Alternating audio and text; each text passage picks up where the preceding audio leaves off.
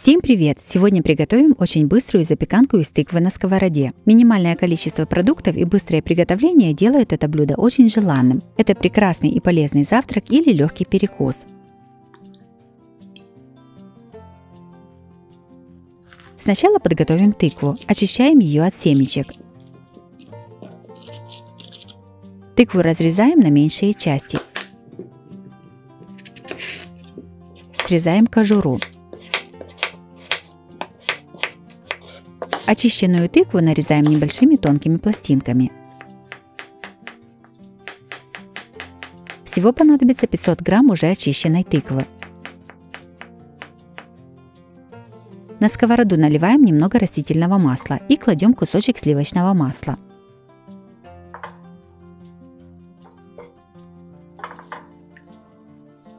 Сюда же выкладываем подготовленную тыкву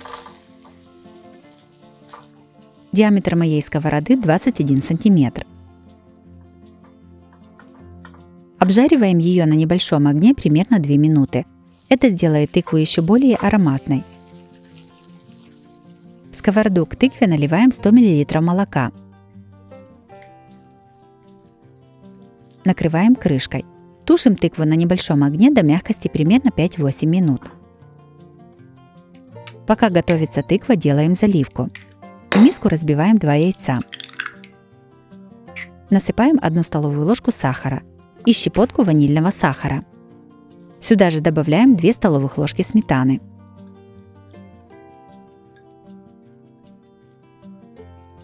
Все перемешиваем до однородности.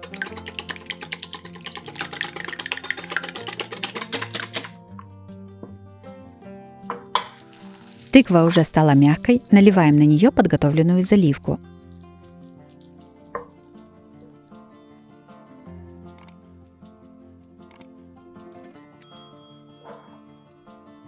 Все накрываем крышкой и готовим на минимальном огне примерно 5-7 минут. Когда заливка полностью загустеет, запеканка готова. Запеканка с тыквой на сковороде получилась очень яркой и красивой. Готовится несложно и достаточно быстро. Она отлично подходит для завтрака.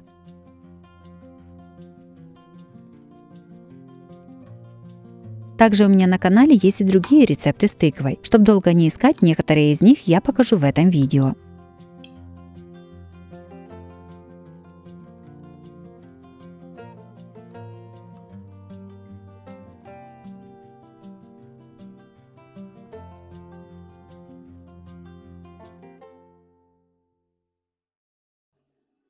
Вторыми приготовим яркие блины из тыквы. Их приготовление очень простое и несложное. Такие блины прекрасно подойдут в качестве десерта или на завтрак.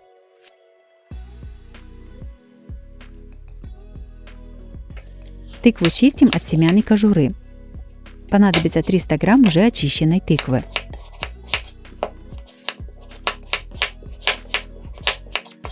Подготовленную тыкву трем на мелкой терке.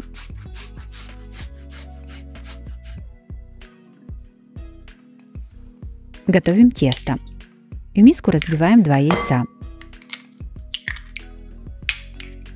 Насыпаем 2 столовых ложки сахара и добавляем щепотку соли. Все немного взбиваем венчиком до однородности. Сюда же наливаем 180 мл молока комнатной температуры. Опять перемешиваем. Насыпаем примерно 90 грамм муки и пол чайной ложки разрыхлителя. Все перемешиваем до однородности, чтобы не было комочков. В тесто кладем уже подготовленную тыкву. Все перемешиваем.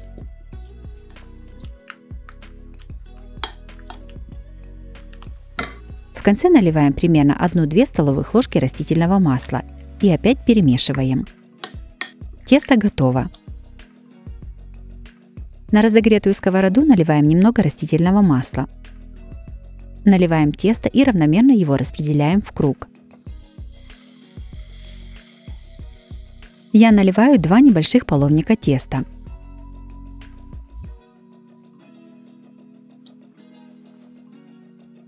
Жарим блины до готовности сначала с одной стороны. А потом переворачиваем на другую сторону и жарим еще одну минуту. Готовые блины снимаем с огня. Мне удобно жарить блины не на всю сковороду, а немного меньшего диаметра. Так их проще переворачивать. Диаметр моей сковороды 21 сантиметр. Из этого количества теста у меня вышло 7 блинов. Блины из тыквы получились очень вкусными. Красивый вид и неповторимый аромат им придает оранжевая тыква. Такие блины можно подавать со сметаной, вареньем или медом. Готовятся они несложно и получаются всегда.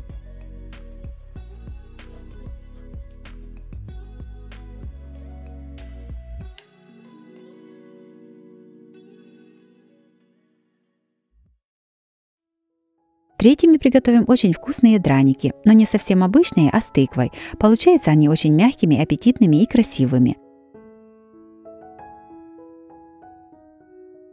Сначала подготовим все ингредиенты. Полкилограмма очищенного картофеля трем на терке для пюре.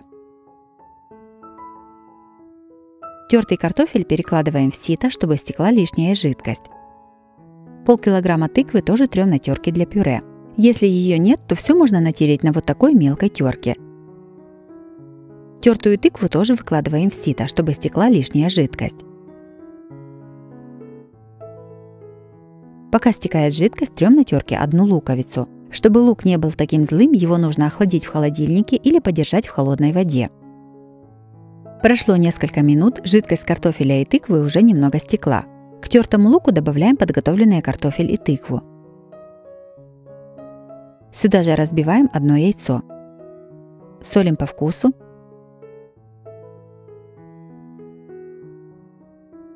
И перчим. Хорошо перемешиваем.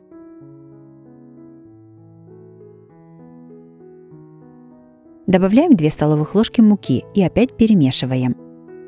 В процессе жарки, если видите, что жидкое тесто, то нужно добавить еще немного муки. На раскаленную сковороду с растительным маслом выкладываем драники. Один драник – это приблизительно 1 столовая ложка теста. Масла должно быть столько, чтобы оно покрывало дно сковороды. Обжариваем драники на среднем огне с двух сторон до красивого золотистого цвета. Готовые драники снимаем со сковороды на бумажное полотенце, чтобы впитался лишний жир. Еще больше разных вкусных блюд из тыквы смотрите в моем плейлисте по ссылке на экране или в описании под видео. Тыквенно-картофельные драники получились очень вкусными, необычными и сытными. Подается блюдо теплым и со сметаной. Такое блюдо выходит экономным и готовится просто. Если вы готовите на большую семью, то ингредиенты нужно увеличить вдвое. Если вам понравились такие варианты приготовления тыквы, то обязательно ставьте лайк и пишите комментарии. Подписывайтесь на мой канал и нажимайте на колокольчик, чтобы не пропустить новые видео. С вами была Оксана Пашко. Готовьте вкусно, готовьте с удовольствием.